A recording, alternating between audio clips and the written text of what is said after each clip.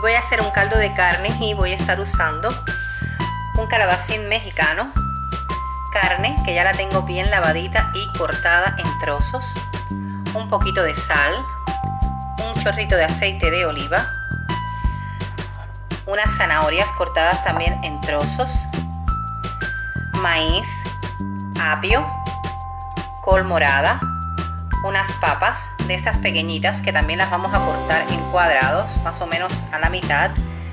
Y estas mm, pequeñitas me gusta mucho como quedan en el caldo y por eso voy a estar usando de este tipo. Media cebolla, media cabeza de ajo y un poquito de cilantro. Vamos a poner en una cazuela hasta la mitad de agua y vamos a agregar nuestra carne. Vamos a ir poniéndola toda. Vamos a poner toda.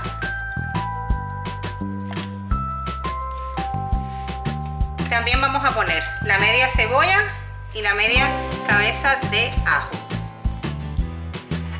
Cuando comience a hervir ella le va saliendo esta espumita se la vamos a retirar.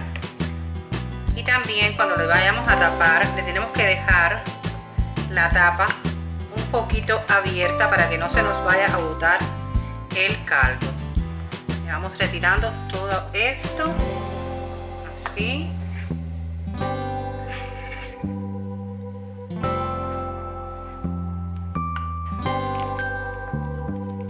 Y hasta la vamos a dejar. Y lo vamos a tapar. Le vamos a dejar un huequito para que él vaya respirando.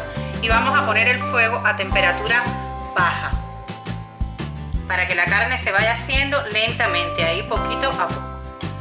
Bueno, ya tenemos nuestra carne blandita. Han pasado unos 45-50 minutos. Y ahora es hora de agregarle la zanahoria. Vamos a poner la zanahoria. Le vamos a agregar también el maíz.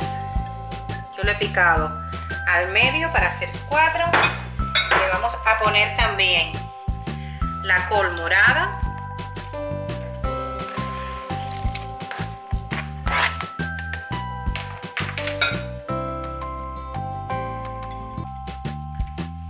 el apio,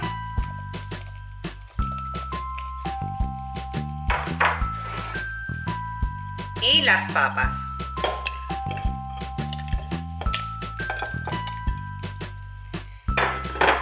Lo vamos a dejar más o menos unos 20-25 minutos para que todo esto se nos ablande bien para luego al final agregarle el calabacín que enseguida se ablanda. Y le vamos a echar ahora también un poquito de aceite de oliva, un chorrito, muy poquito. Y también le vamos a poner la sal. La sal va a ser al gusto. Lo vamos a mezclar todo y lo vamos a dejar por unos 25 minutos más o menos. Bueno, ya se han ablandado todas las verduras que le puse y ahora va a ser momento de ponerle el calabacín. Vamos a poner todo el calabacín. Yo le voy a agregar también un sobrecito de, de estos que es para sopas y todos estos este condimento para que le dé un poquito más de sabor. Le vamos a poner el sobrecito este.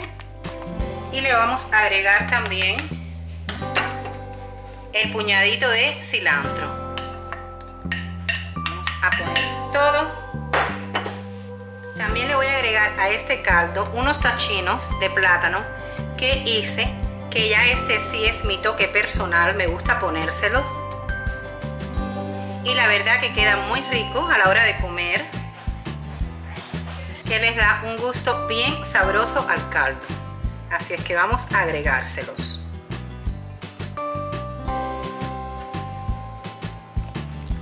Le vamos a dar unos 15 o 20 minutos más a este caldo para que acabe de ablandarse los calabacines y coja buen sabor todo lo que les hemos puesto dentro. Bueno, mirar, ya el caldo está, ya está todo bien blandito.